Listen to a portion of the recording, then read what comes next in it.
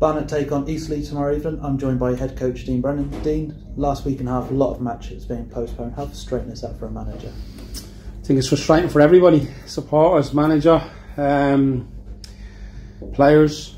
Um, so, yeah, look, we are frustrated, but there's nothing we can do about it. It's out of our control. Uh, we're very, very privileged here and I'm very lucky that the cities we have, we've been able to train on the 3G although we've had to train later. I know some clubs in this division haven't been able to train. I know some clubs above haven't been able to train on grass or 3G. So we're very lucky to have that have that at uh, disposal. So and the players' attitude's been spot on. So like I say, we're going into a hectic schedule. I think we've got seven weeks and around 14 games. So hopefully games can be on and we can get into that ex exciting schedule sooner rather than later obviously with these matches getting called off, it is causing a bit of fixture congestion. Is that something that you worry about, or is it something that we can use to create momentum in the league going into the last bit of the season? Ideally, you want to create momentum. Um, if we can continue the form we have for the last two and a half, three months, we'd be, we'd be more than happy with that. But it doesn't happen that way. It's one game at a time. We will get beat in some of the games. That's a guarantee. You know, we're not going to go unbeaten for the next 14, 15 games. We've got some really tough games the division's relentless. It's how we react after them defeats, and um, that's the most important bit. How we stick together, how the boys' attitude continue to stay strong. They've got good mentality.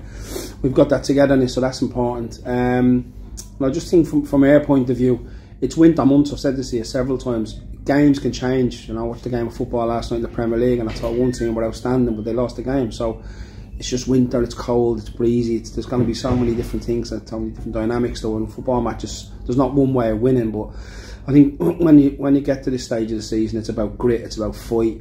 Keep going to the line, making sure every tackle, everything matters at this stage, uh, especially with the position we put ourselves in. To keep it on fixtures, six of our next seven games are on the road. Is that something that you have to change your preparations with doing all those miles, or is it just same as usual? Nah, same as usual. Like I say, we take each game and its merit. It's not ideal. We'd rather six at home and one away. But look, it's a challenge for us. It's a great challenge for us. Um, how we step up to that, time will tell. Um, so there's no doubt within this period we'll pick up niggles, injuries. So the squad's going to be uh, going to be used. Um, we'll travel to all the games with all the squad now. Um, so we've got to pull together more than ever. Uh, this is going to be the busiest schedule of the season. We're basically going to play nearly a tour of the season within a seven or eight week period. So it's crucial, it's vital. So we'll see how we get on.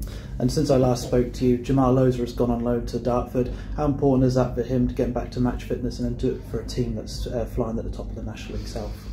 Yeah, I think it's important, uh, especially for Jams. He's been out a long time. His last competitive game was last April, so it's a great opportunity for him to go play for Douse. He knows Douse really well. Douse is one of the good guys in football, so um, and hopefully he'll do well for them in that Monday period. Um, he's got a lot of pace, and you know it's pace we need as well. So hopefully he can get through that.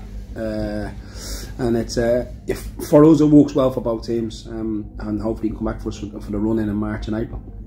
Tomorrow we do take on Eastleigh, a strong Eastleigh side pushing for the playoffs. What challenge are you expecting from them tomorrow? They're good to be fair. Play two systems. They can adapt. They you know they can play four three three. They can play three five two.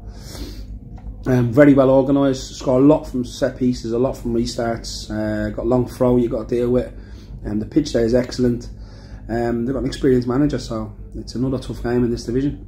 And finally, is there any update to the team news for tomorrow? Uh, not really, no.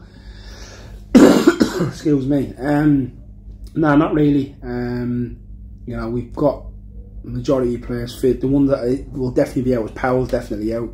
He can feel something in his hamstring. Um, and Jordan Thomas is still on his road to recovery after his knee injury, so everyone else will be available. Dean, thank you for your time. Cheers, thanks.